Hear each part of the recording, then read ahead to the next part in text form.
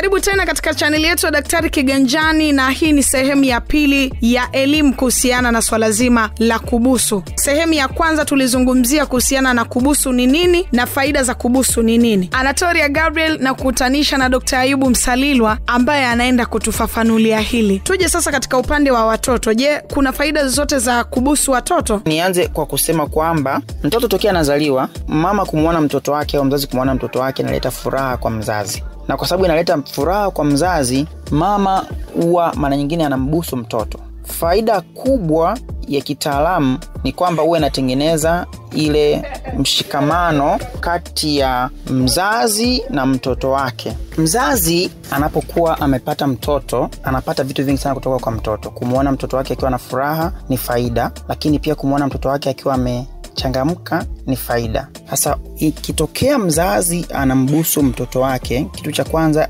kistaalamu, anatengeneza lile uungano kati ya mtoto na mama au mtoto na baba kwa sababu kubwa mbili. Kitu cha kwanza, mtu yoyote unayembusu unatengeneza ungano naye, kwa sababu mwili wako una, unachukua sehemu ya yule mtu na kuweka kwenye mwili wako na kuweza kuielewa. Kwa hivyo kuna ile lile ungamano la kiakili na la kifuraha ambalo linatokea kati ya mtoto na mama linatengenezwa sana pamoja na kuweza kumbusu mtoto. Kitu cha pili na kikubwa ni kwamba ikitokea mama anambusu mtoto wake, zile lipsi za mama au tunasema hii sehemu ya mbele ya mdomo ya mama inapombusu mtoto wake kwenye ngozi au kwenye paji la uso au sehemu yoyote huwa inachukua mabaki ya seli ambazo zimekufa za mtoto ambazo zinakuwa zipo kwenye ngozi ya mtu yoyote ule. Yale mabaki ya seli yanapelekwa na mama, yanachukuliwa na mate, yatakwenda kuingia kwenye mfumo wa kutengeneza kinga wa mama.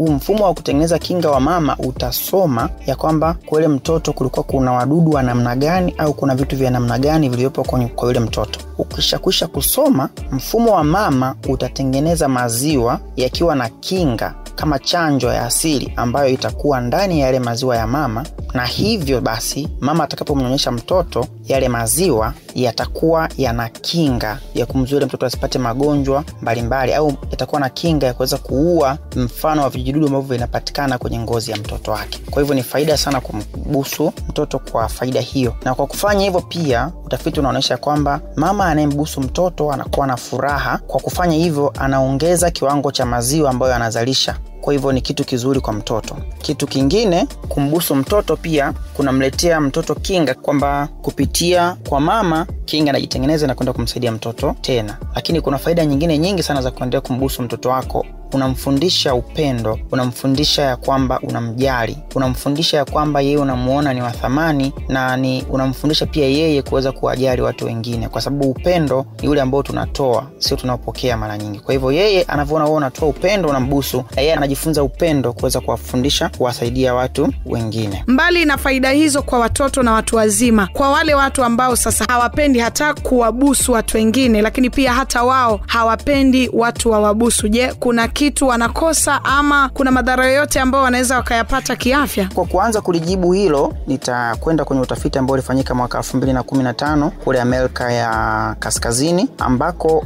ulionyesha ya kwamba kutokana na taratibu za kijamii au tunasema kutokana na mila na desturi, ilionyesha kwamba asilimia 45 ya wananchi wanaoishi Amerika ya Kaskazini, ambako Amerika ya Kaskazini pia kuna mpaka Marekani, imeonyesha kwamba wananchi wanaoishi kule asilimia 45 hawabuhusiani. Nilikuwa najua kwamba utafiti ungeweza kuonyesha tofauti za hivyo, lakini utafiti unaonyesha kwamba hawabuhusiani, na ni kwa sababu ya taratibu za maisha yao ambayo wamekuwa nayo wanaishi. Kwa hivyo kubuhusiana ni kitu ambacho kinategemeana sana na mtu mwenyewe, pia ameumbwa vipi, ametokea wapi, amepitia nini, amejifunza nini kwenye maisha yake yale ya kwanza kama nilivyokwisha kusema kwamba mzazi anayembusu mtoto ni rahisi mtoto wake kuja kuwa ana, anaweza kubusu na kubusu mpenzi wake baadaye au hata mtoto wake baadaye, kwa sababu alishakwisha kuwa anaona kutoka kwa mzazi wake ya kwamba mzazi alikuwa anambusu yeye wakati akipokuwa mdogo. Sasa kwa hawa watu ambao hawawezi kufanya hivyo, hawawezi kubusiana, hakuna madhara ya kiafya yaliyopo, ila ni kwamba wanakuwa wanapunguza zile faida za kubusiana ambazo zipo. Watu hawa, utafiti zimeonyesha tena mbele kwamba imekuwa ni vigumu sana pia kwa watu kama ambao hawabusiani pia kuweza kuungana, kutengeneza ile bondi kubwa kwenye maisha yao, imekuwa ni, ni changamoto kwa sababu hawabadilishani taarifa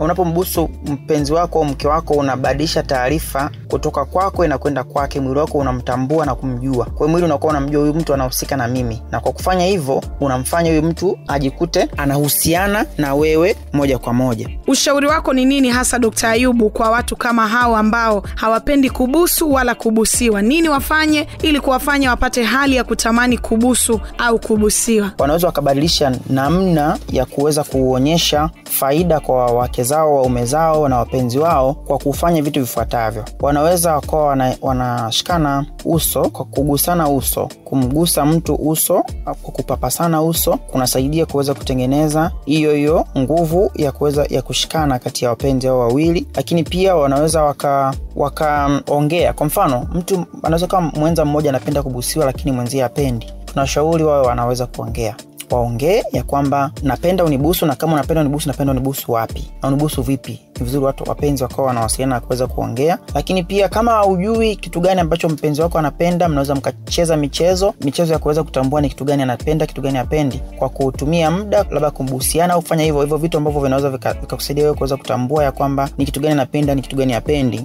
kuulizana maswali na kadhalika. Lakini pia unaweza ukatumia zaidi ya dakika tano kila siku kwa kushikana mikono kukumbatiana na kuweza kuambizana ni kwa kiasi gani mnapendana. Itasaidia pia kuweza kurudisha kutengeneza ile bondi na kuweza kuziamsha zile zile vichochezi vichochezi vya furaha vitatu ambavyo vimekusha kuviongelea ambavyo vinatoka mara nyingi baada ya mtu kuwa amebusiwa. Lakini pia kitu kingine ni kwamba mnaweza mkajifunza kuambizana maneno kwa mfano kumwambia mpenzi wako nakupenda kumwambia mpenzi wako au mke wako na mume ya kwamba ninakupenda sana ninakuthamini na kuhitaji kwenye maisha yangu. Aa, ukiwa una furaha kumwambia nimefurahi ukiwa umemkosea kumwambia kwamba nisamehe na lakini pia kukubali makosa au kukubali kuelekezwa na kumsikiliza kutengeneza muda mkubwa wa kuweza kumsikiliza kunaweza kukasaidia pia kuweza kuamsha vichochezi vyake vya furaha na vichochezi vya furaha vikiamka kitaalamu wale watu ambao hawapendi kubusiana inategemeana na alikotokea na anategemeana alichojifunza na alichokiona